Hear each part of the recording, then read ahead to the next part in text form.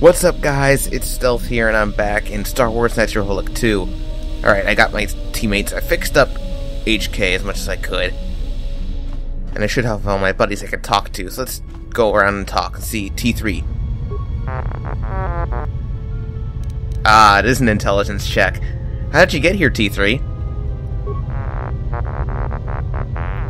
You're deliberately avoiding answer. Why? Let me check your core. I'll be careful, I promise. I want to make sure you're alright. Just let me check, okay? Success! I'm finished. Are you alright? Let's play the message then. T3, you have been with us since Taris. Without you, we would never have escaped that place. And for that, I thank you. I'm leaving this message inside you because I have seen glimpses of the future. And the bond that he and I share does not allow him to hide everything from me. More of his memories have returned, and they trouble him. He has remembered something. Something on the edge of the galaxy, and he believes that he must go there to end it. But I am afraid for him. Afraid that he may not return. I need you to be the beacon, T3.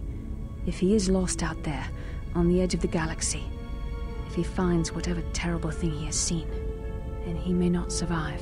If he doesn't make it back, then I need you to return to the Republic. Find help.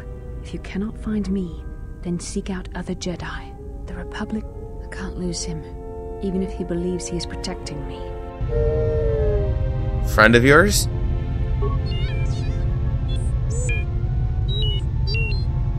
I don't understand why you were concealing that from me. I understand. I didn't think you kept messages like that. So, the message doesn't tell me where the Ebon Hawk came from. But why don't you have that information? Deleted? By who? You deleted it. Why? Something's wrong here. There must be a reason for it. Don't worry. I'm certain you had a good reason, or maybe you were trying to protect someone. So... Who was the person the hologram was talking about? Another missing friend? What happened to your old friend? Why aren't you with him? Because he could not take anyone with him, even the woman. And he left you. I'm sorry, T3. But he did help. He found us. We could stop the Sith, then there's hope after all. Alright. So, this help became a search of, became a search of me. But why me? I was powerless, defenseless.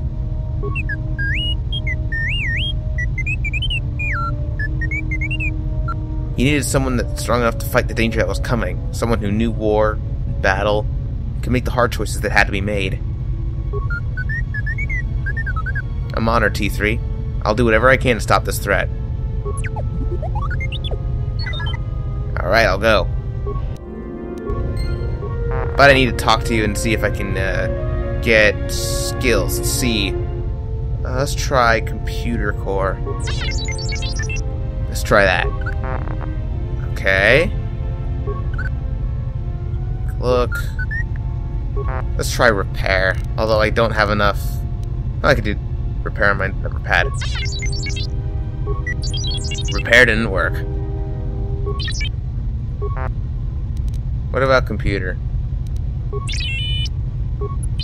Mm, nope. Is there anything else?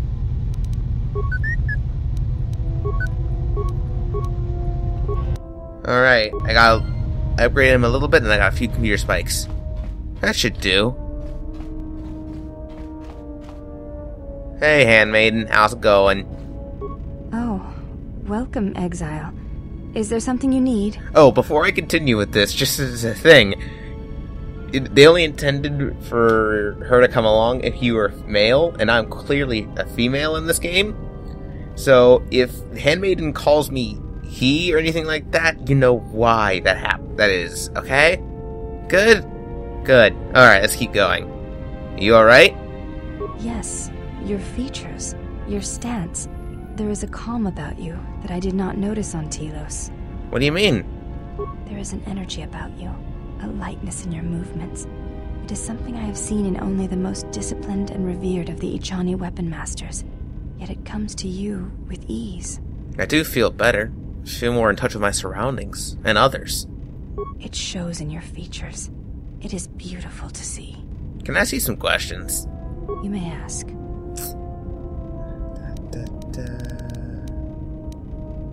Uh, what are you doing? Let's go. Let's go with that. I am training so that if danger should strike, my body and my reflexes will be prepared.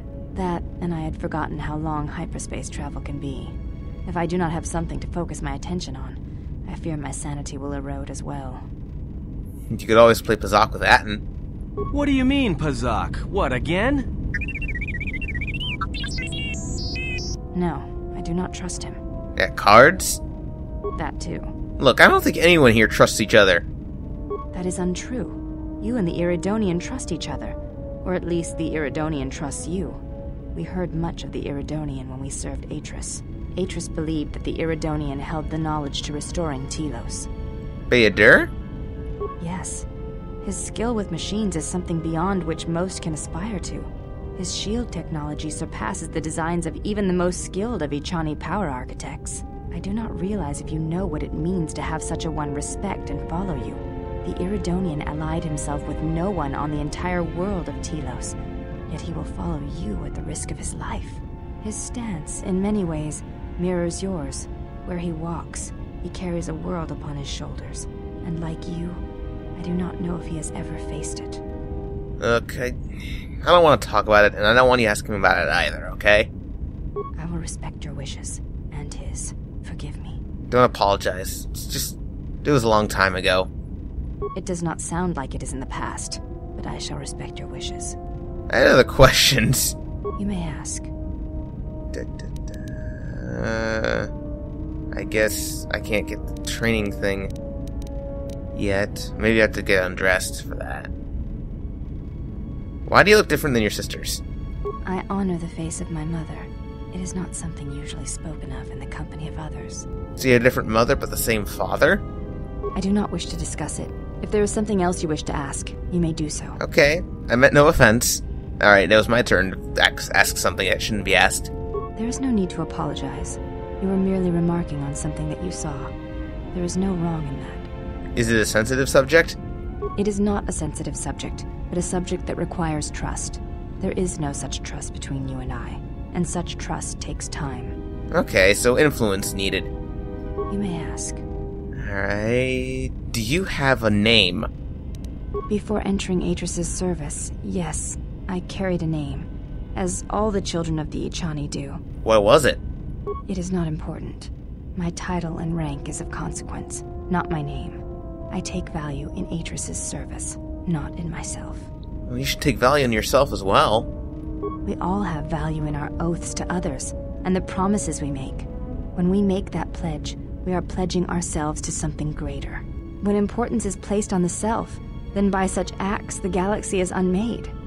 There's some truth in what you say. Is that your judgment on me? If reasons of the self is why you turned away, then yes, perhaps there was a judgment there. But it was not intended as an attack. Do you think I lost myself when I disobeyed the Jedi? I do not know. That is a question you must ask yourself. Fair. Right now, no, no, no, no, no, no, that would be bad. No, other questions. You may ask. I don't want to say either of those things because those are mean things. Uh, I'll go. Now then, let me try this. Yes? What are you doing? I am training. That.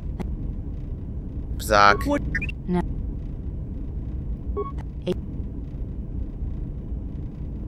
The re. The t.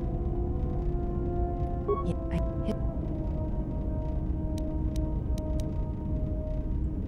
It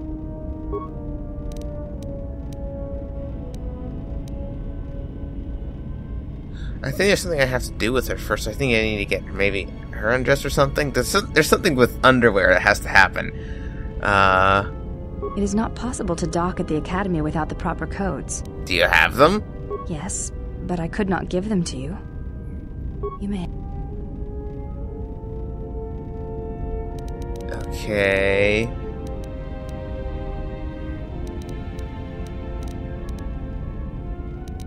Atris ever mentioned me? She said you Oh, we already did this. battle. In battle, the words are swept away, giving way to actions. Mercy, sacrifice, anger, fear. These are pure moments of expression. Alright, there's nothing else I could do. Let's see, what about Atris? Can I ask you about her? I do not wish to speak of her to you. God dang it! You may. Ugh. It's like talking to a wall. Why are you called the Handmaidens? We attend Atris. It is the duty of all of us, from the first of my sisters to me, the last of the handmaidens. You are the last. I am the last of the handmaidens. This is correct. I train so that one day that will no longer be true.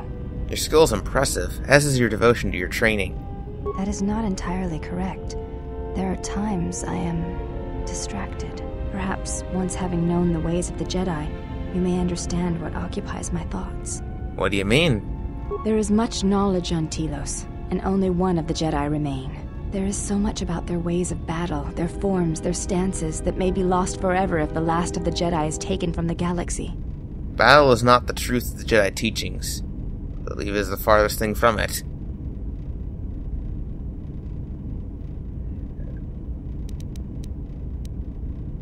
I get, and let's go with this one. To lose those combat techniques would be tragic indeed, because she's a she focuses on combat. So let's talk to her style, because I need some influence with her. I know your meaning, but I have not been clear on mine. Stance, form, discipline are a means of expression and communication. They speak one's heart and one's devotion to their cause. So, devotion to their cause. Yes, the methods you use to meet your opponents speak truer than any words can express. When you risk pain or death, there is no truer sacrifice or strength.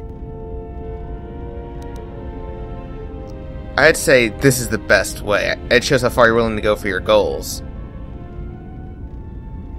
It was to the Jedi traitor Malak. It was to the Jedi traitor Revan. When Taris was destroyed, it showed Malak's heart through its execution and intent. It was brutal, without finesse, but showed his commitment to defeat the Jedi.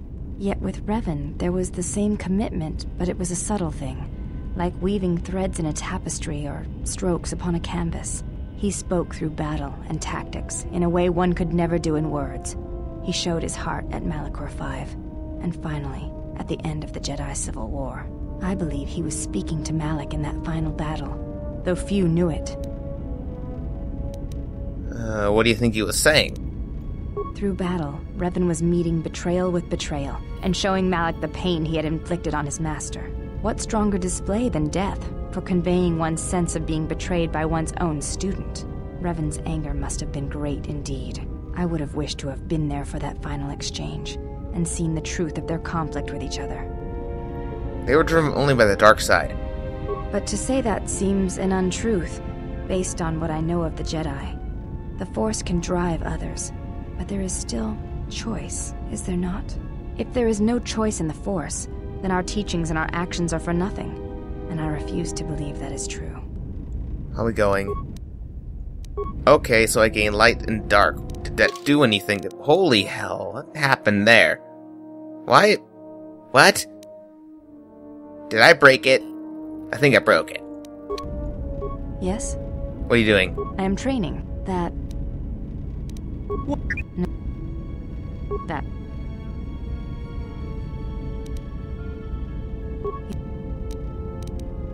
Never mind, I'll have to come back later. I think... I think I need to talk to her about it when both she and I are naked. Which means I need to go take her out first, and then make her naked. That's the only thing. Hey, Kreia. How many more do we intend to gather to us? This ship is not the galaxy. There is only so much room. We've got plenty of room, and as many as need to come with us and help us. Then prepare for an army, I think, for it seems many more will come in time. They will follow you because you are a leader. Their kind always needs such, even when the figure deserves no such obedience. I'm no leader. No? Perhaps not.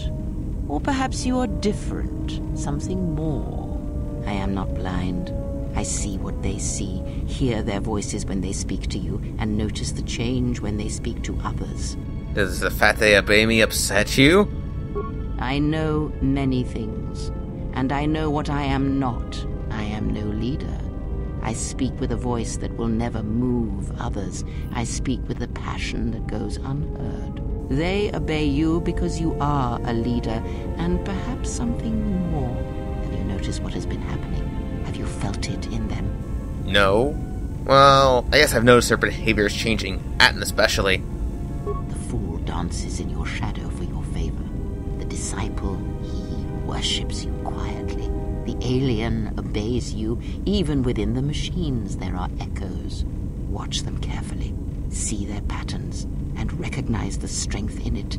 Influence can be a weapon, one that you may need before your journey is done. They are my friends, not tools. And by the way, we haven't gotten the disciple yet anyway, you old crow.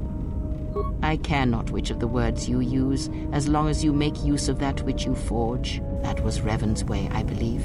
It was a strength. What do you mean? Have you never asked yourself how Revan took the Republic and Jedi beneath him, how he made them his? He was a powerful presence. There was little one did not believe when he spoke it with conviction.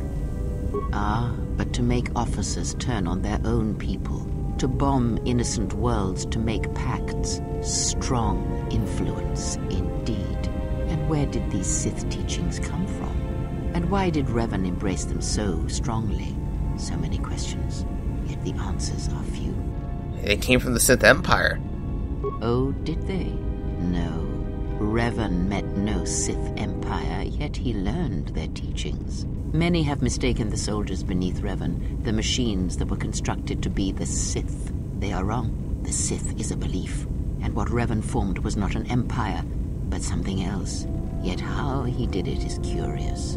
And I suspect the answer to that question is tied to another. How was Revan able to corrupt so many so quickly? First of all, yes, he did meet the Sith Empire on Dromund Kaas in the uh, unknown regions of space.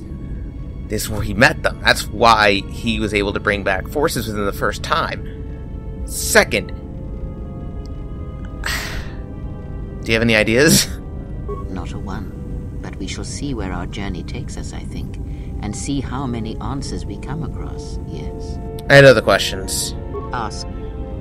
You don't seem to like Handmaiden. Why?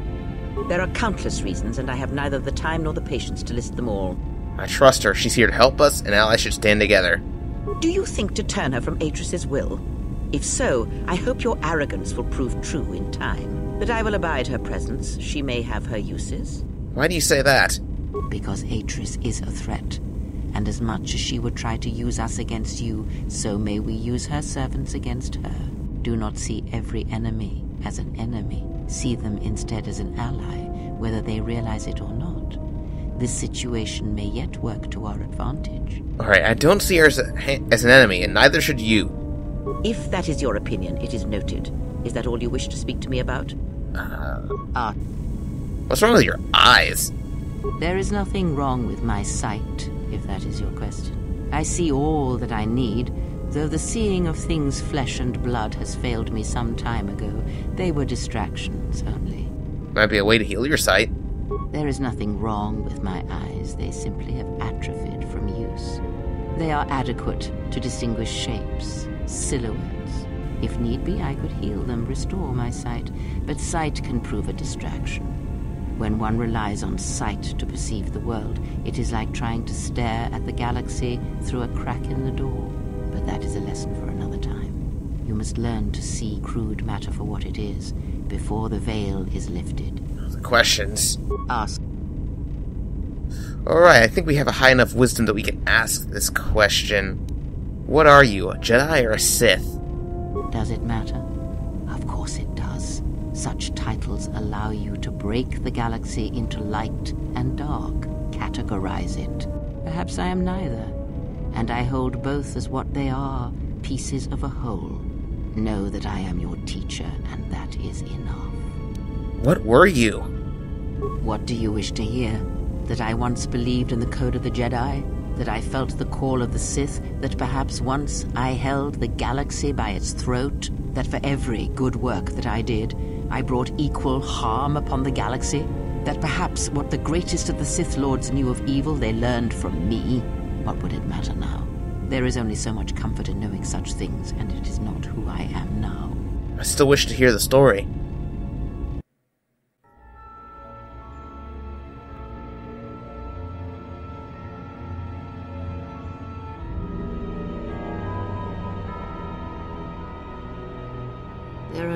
Places in the galaxy where few tread, ancient centers of learning, of knowledge, but I did not walk alone.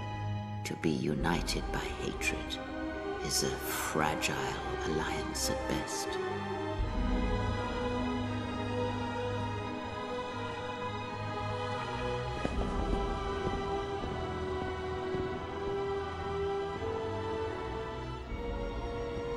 My will was not law.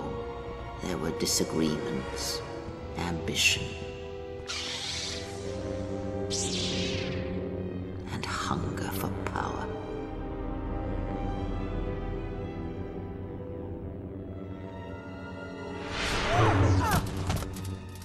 There are techniques within the Force against which there is no defense.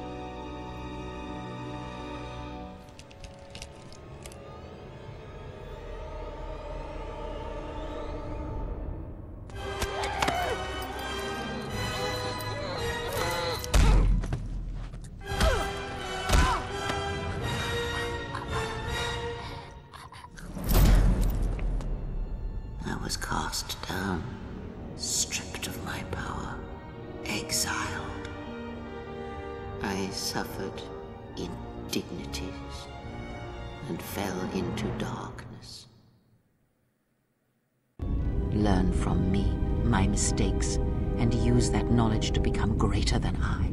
That is all I ask of you, and that is all I desire. In you, all my hopes rest for the future, for the Force. I need more than that. If it means so much to you, then this I swear to you upon my life, upon our lives, that when your training is complete, I will answer everything. There shall be no more shadows between us, only truth that exists between master and apprentice. Had other questions? Ask.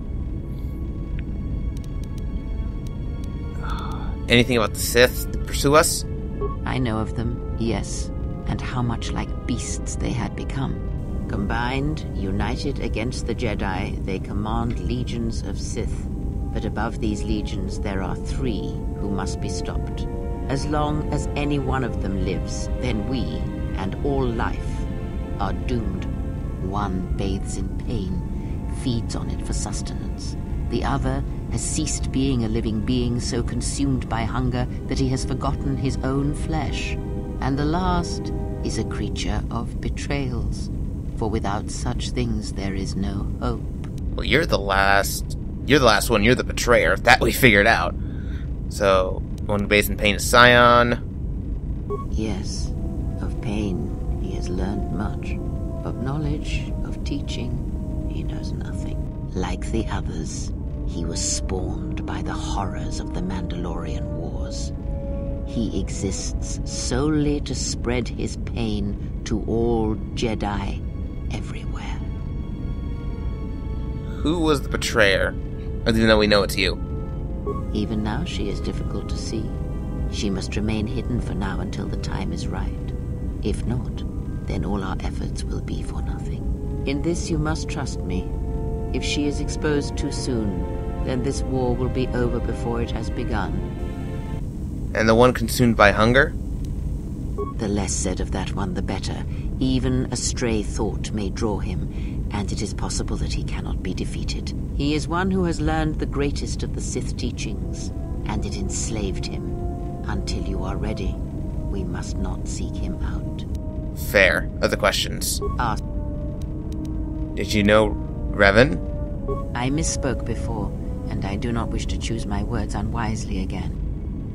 That's, come on, there's gotta be something else. Did you know Atris? Atris herself is not as familiar to me as perhaps she should be. Yet I feel I know her, yes. What do you mean? Because Atris's path is one I walked long ago, and it is a chapter of my life that has been read and closed. She has taken the first steps, I think. We shall see. Surely you felt the righteous anger, the spoken judgments, the lack of forgiveness. You walked her path. Yeah, oh, we don't need another Sith Lord on our hands. I was a historian once, gathering the relics of the Jedi, learning the ancient mysteries. Always there were more questions. One quickly learns that the Jedi Code does not give all the answers. If you are to truly understand, then you will need the contrast, not adherence to a single idea. That is why Atris and the others blamed me, sentenced me. They believed me responsible for Revan's fall. You trained Revan. You have already asked much. I do not wish to speak of this any longer. How did Revan amass such huge force? Have you never asked yourself how Oh, we did this already. And I miss Alright, that's it. I want to keep losing influence with Kreia, because that's the best way for her, because as a light side person, you lose influence. As dark side, you'll gain it with her. yes. Force. Very well. What is it that drives you?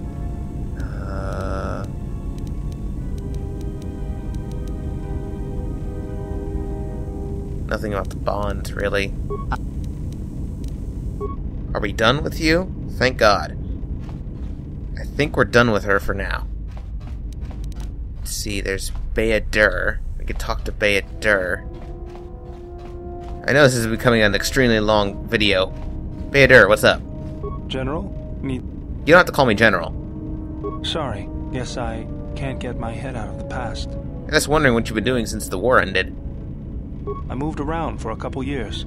Working as a starship mechanic got me from place to place. I wasn't ready to settle down after the war. During my exile, I did much the same thing. Then you understand my restlessness. Though the war had ended, I couldn't find peace in anything. As long as I kept moving, I didn't have to think about what happened. Know what I mean? Only too well. I'm sure you do. I decided I'd do something constructive. I wanted to make up for the things I'd done in the war. I wanted to design planetary shields, but there weren't many systems with the credits to spare. There was more that needed to be rebuilt and protected. I found out that Telos was going to be the flagship project for the Republic, and it sounded like something good. I saw Telos before the Sith razed it. It deserved a better fate. But Czerka ruined everything. I thought I could force Czerka out on my own, but I guess I can't fix everything myself. I think taking on Czerka single handedly might be a little out of your league.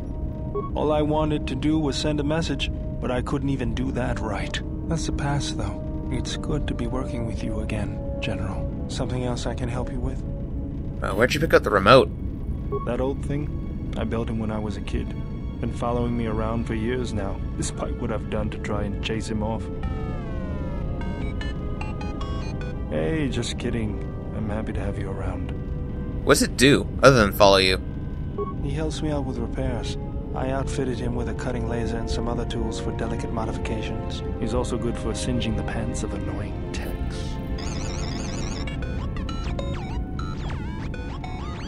I've been thinking about doing some other work on him, but I barely have time. Too busy fixing up the ship. Something else I can help you with? Uh, well. What are you doing? Just working on the ship. I'm not sure who got her up and running, but I'm amazed she's even space worthy. Whoever made these repairs doesn't think like most mechanics. But don't worry, I'll get everything in shape. I didn't want to talk about the war, but can I ask you something? What is it? Why did you decide to fight? The, Mandal- the Mandalorians had to be stopped. I felt the same way. I remembered when word of the Mandalorian attacks arrived on Iridonia. My people had colonies across the Outer Rim. Many of them were among the first systems to fall. As good as reason any for joining. I did not join because I wanted to protect, though. I hated them. I wanted to destroy them, to give them the mercy they gave the people they conquered. I remember the thrill I felt when we fought them in battle. Victories were rare, but we celebrated every Mandalorian's death. Do you know how it felt? Jay, I felt it too. The rush of life as they were cut down. It's always on my mind now. That loss of control blinded me, turned me into a weapon. I just needed to get that off my chest. Was this something you. Uh, opinion of the Telos situation. If the Republic would just rein Czerka in, there'd be no problem. But as long as Czerka is allowed to undermine the Ithorians' efforts, Telos will remain dead. I can't take seeing my work being used by those bloodsuckers. But there's nothing I can do about it, so let's talk about something else. Something else I can. How'd you lose your arm? I got tired of it. Kept dropping my hydrospanner. Figured I'd get a new one. Yeah, I'll bet that was fun. I was only kidding. Actually, it was a souvenir from Malachor. I was lucky it was all I lost. But at least it gave me something to do, right?